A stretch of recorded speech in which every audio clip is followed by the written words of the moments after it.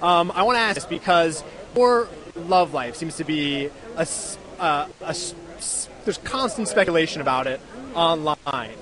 Okay, I just Are you a are you a single lady or are you? Uh, I'm dating. I'm just dating. Yeah.